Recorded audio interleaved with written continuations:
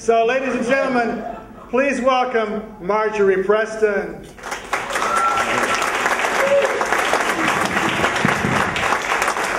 Service. Nice. I like the ad.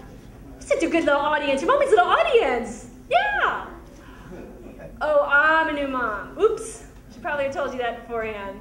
My, my kid's like 10 months old now. She's learning to use her hands for evil. Yeah. She pinches me. She scratches me. She pulls my hair. She straps my, snaps my bra. I'm raising my brother. Pretty soon it's to be, why you hit yourself, mommy? Nah. I, I lived through that enough. But anyway.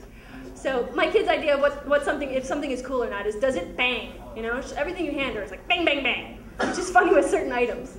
bang, bang, bang, blanket boring. Bang, bang, this flower is defective. Bang, bang, list is a little light. It needs more poop jokes, mommy. So. But I've noticed that since I've, you know, been in the world with a kid now, that the world is beeping too much. It's making too much noise. You pull into the gas pump with the kid in the back seat, and you're like, okay, let me just get the gas. And it's going, beep, do you want this? Shh, kid's trying to sleep, pump, don't wake up the kid. Okay, beep, do you not want this? Wait, no, beep, pay here. Wait, shh, beep, credit, Wah! Every time, waking up. So I tried to talk to my kid, and you might imagine I monopolize the conversation. She, she goes goo, and I'm like, oh man, goo goo ga ga ga. So she learned to do something new with her hands. I think I'm reading too much into her little words though, she'll say something like, Mawa, and I'll be like, what's that, baby Mawa? You want to move to New Jersey? And little Timmy's falling down the old well. Let's go. So, but she's a little Houdini. It's not enough she could get out of her little sleep sack and her little swaddling blanket. Now we put her in the car seat. She takes her foot and she hits it against the red seatbelt button. Button. It's like she's trying to say to us, "Alert! Alert! Must free self from torture device." you know. So, but I've been watching other people's kids, older kids, to see what I'm in for. Figured out how to get your kid to eat broccoli. Drop it on the driveway. Because they'll eat, they'll eat anything dropped in the driveway. It's true.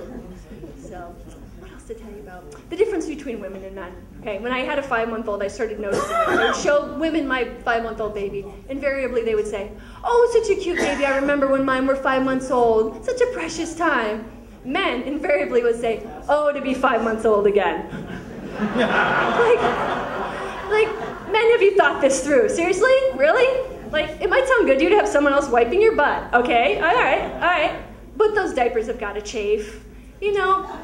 And no more tear shampoo really isn't. There will still be tears. Think about it.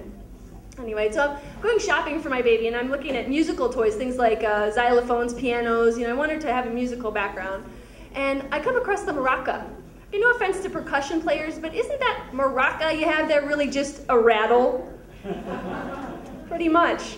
And why are you wearing a diaper? It's the other thing I want to know.